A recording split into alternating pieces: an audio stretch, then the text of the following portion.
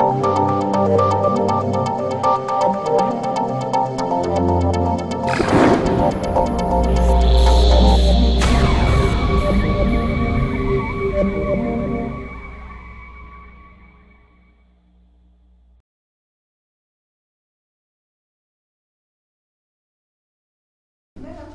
and uh, very good morning, uh, ladies and gentlemen.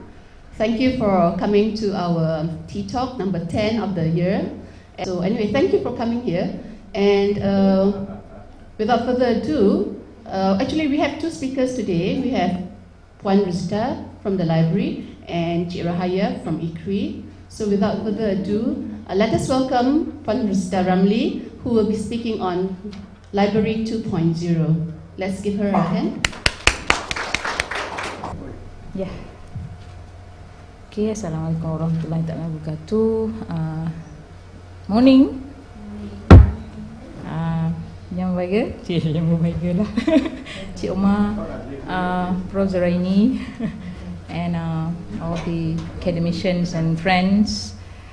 Um, I was nervous actually, still nervous when given uh, when actually uh, requested by prof to speak uh, but i guess this is n- not really an academic thing but um, more on promoting what we have been doing in the library uh, just so that everybody knows that these are the things that we have been doing and is available for you and for your students um, so um, i just would like to share what we have been doing and i hope that um, i can get good feedback so that we can improve uh, more so for the service for OUM uh, staff and students. Okay, the title is Library 2.0, but it's not really about Library 2.0 in total. It, it's part of it uh, that I will touch in a minute. Okay, this is a um, summary that I kind of gathered from attending the Sea Air in Penang last week with Prof. Raini. Although it's about academic, but I guess something that I can use in the library for this uh, for, for the benefit of all. So these are the, the things that I've I've got. Um, I'm not touching the. We, we have been touching about enhancing uh, class, you know, um, modules and everything like that. But uh, on the panel session, the last day of the CR in Penang, uh, the speakers talk more about the person, the people, uh, the human being, us being human, and we have we have perceptions, we have values. These are the things that uh, I got from the, the last panel session. And um, one speaker touches about the soul.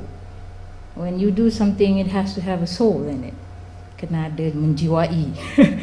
you know so it's just not giving service but we have to give service because we are human you treat people as human and uh, uh, with with passions with empathy or whatnot and in the soul kind of thing um, and then one person talked about we have KPIs in all universities in all libraries in all units we have KPI but KPI is just a measurement of things that you can see but values, people's perceptions, behaviors, you know, attitude towards something, belief towards something, that is not measurable.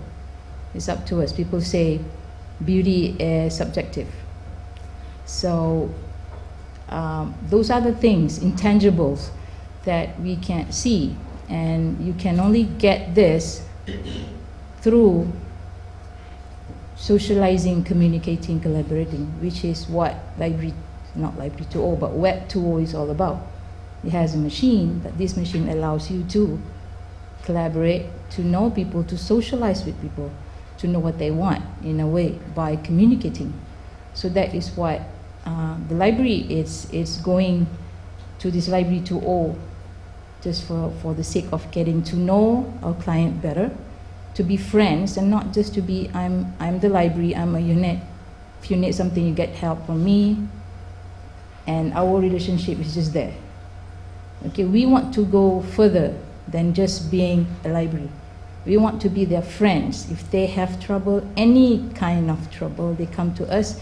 They want just to talk, they come to us.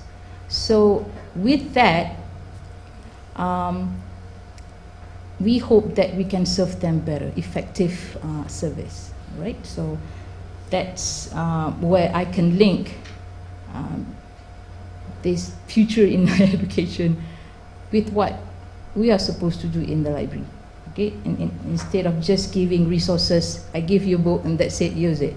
Okay, so not that. Um, all right, this is what I gathered from, this is the marketing side of Web 2.0, an article from uh, Salvatore, blah, blah, blah, from Wall Street Journal in 2008. In that article, it says that um, it is more focusing on human again. You don't talk to your customers, but you work with them. So you don't just give students what they want, but you talk to the students. We be friends, you become friends with them. Okay? Um, participation, that's what we are doing in uh, what tool library tool. Participate. We listen to them. We join whatever conversation they like. They can talk about traffic jams or whatever. You know, we will still join in. Um, we don't just sell, but we kind of know what they want. We mold our service for their needs instead of just giving for the sake of giving. All right? We don't want to buy books for the sake of buying books to keep the quota, tapi we buy books because that is what they want. We want to do that. So in order to know what they want, we need to get closer, not just by uh, knowing what we have in the reference list and just buy through that. Okay uh, and so on and so on. Experimentation, I like that because Library 2.0 that we were doing is actually an experiment. We don't really know yet whether it is fully 100% effective, but it's a risk that we have to take.